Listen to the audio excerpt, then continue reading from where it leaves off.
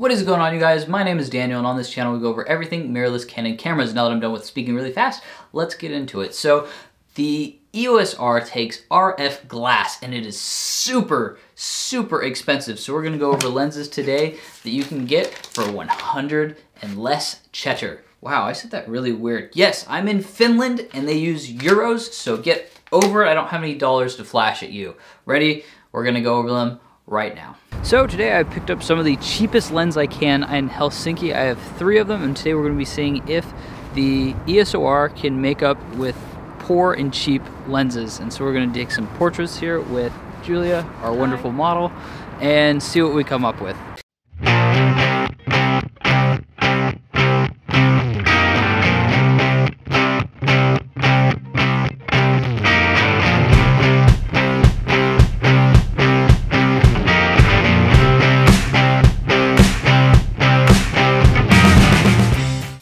So some of the lenses that I'm going to be going over, we're going to go into Lightroom and show you the photos and some of the things that I didn't like about how they performed, but how I managed to overcome that with the effects that you have in Lightroom. So right up off the bat, I picked up the 50 millimeter right here for 40 euros off somebody's secondhand, and it even came with a little extender and a uh, plume out the front. And this has been a really good, I mean, everybody knows what the Nifty 50 is. No more introduction for that lens. Next up, I purchased a busted, the front of it is busted right here, and I picked up this for 35 euros off somebody. And this is the Canon Canon zoom lens EF 75 to 300 millimeter, 1.4 to 5.6 third generation, I guess. Anyways, this thing has a bunch of play and is super difficult to shoot with because of how unstable the lens is because there's no in uh, there's no stabilization inside it but it does its job for what it needs to do and it takes pictures that are zoomed. And finally I have a pancake crop sensor 24 millimeter. Uh, this is a leftover from some older stuff so we're gonna go in and I picked this one up for I believe 70 and I'm actually gonna be trading this this upcoming week for a this is a, this is for a crop sensor, and I'm going to be trading this Pancake 24 for a Pancake 40, yeah, 40 millimeter that is for a full frame camera. And so, but for now, while I have this one still from an older collection, we're gonna go over exactly how it works on the EOS-R. And one of my favorite photos from the day was actually taken on this lens. Okay, so we're at the beginning. I've already edited and processed these out, so we're gonna flip the images all the way back to original photos. So we're gonna do reset to original on this one. And this one was shot with the 22.8 24 millimeter. I really did enjoy these shots, but I enjoyed the composition on this one a lot better. This was the final result that I got out of that. There we go, reset to original. And so it was a little bit dark, but I tend to shoot a little bit in, like a little bit differently so that I can bring back some of the shadows and the highlights and everything like that. So when you press auto, it automatically boosts the highlights and drops the shadows and gave you pretty much a perfect image right off the bat. Some things to notice is right over here, there's a ton of green, not a, not a ton actually, there's a lot worse with the 50 millimeter, but you can see some right there. And what I did to, I'll show you. So all I did to get rid of that was go in and drop the green, and it pretty much eliminates all of that. And there's not really anything else that's green in this photo, so that wasn't a problem, but there was a little bit of that. And everything else was very sharp. I actually enjoyed this composition over what the 50 gave me in for the exact same position because it really gave you those leading lines and then I just upped the cont clarity a little bit and then that pulled her away from the background even more.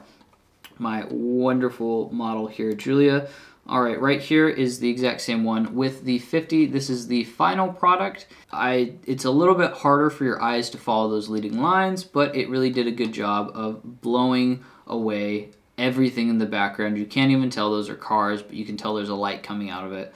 And But like I said, right here, there is so much green coming off these corners on this with the sun going down but everything is blown out wonderfully. Julia's eyes are really in focus there, and it just turned out, I think those were a really good one. However, I did like the pancake a little bit better even. And the problem with the pancake lens is that it's cropped in and only using a part of the sensor while it's doing this. This one's a zoom lens.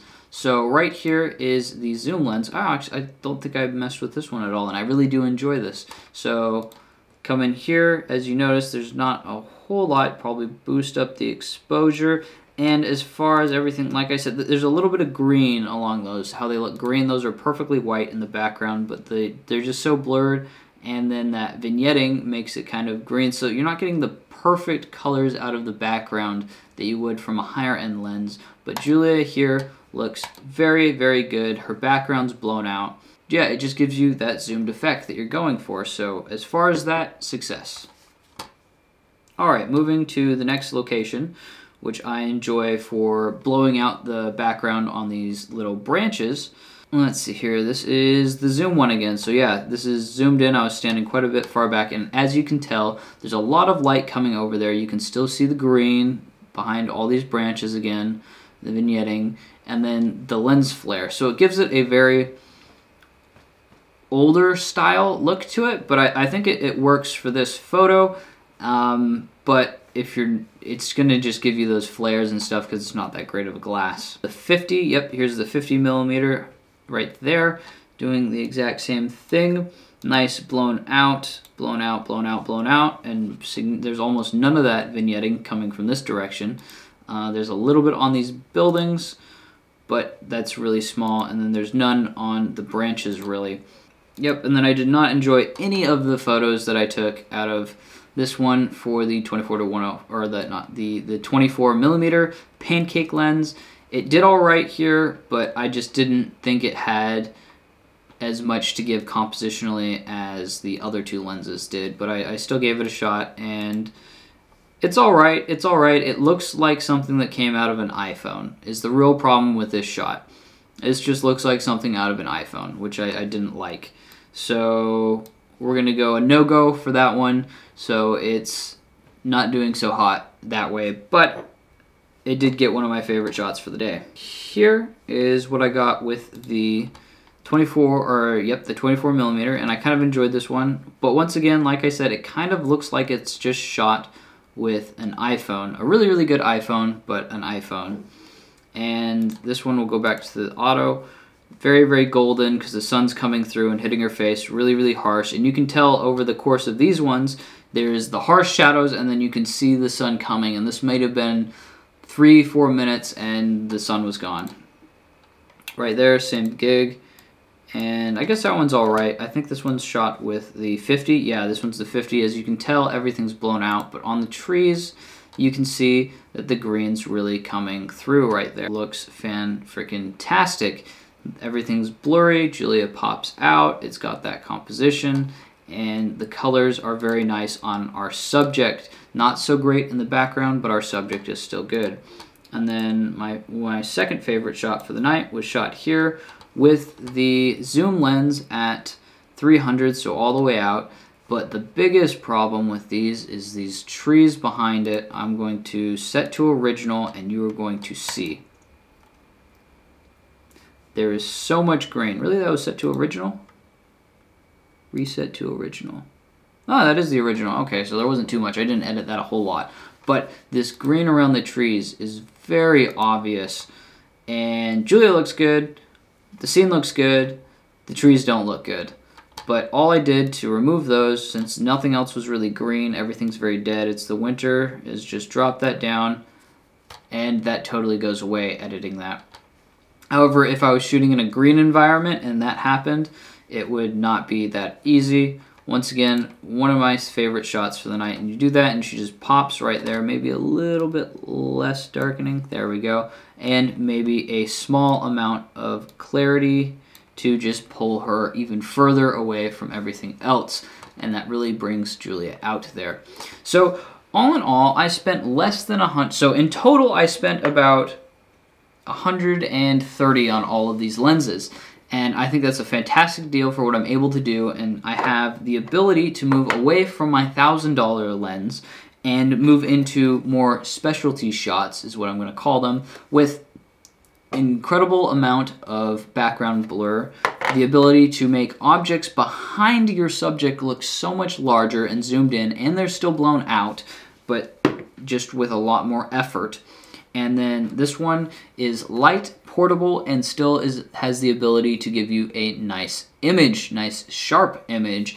And I really enjoyed shooting with all of these. It's nice to come off because the RF glass is also incredibly heavy, making this lens this camera, as you have the RF glass on it, very front heavy and not very fun to shoot with that way. However, when you throw the Nifty 50 on there, it is significantly lighter, putting the stabilization back into the rear, well, I guess it's the center of gravity further back in the camera, making it more steady.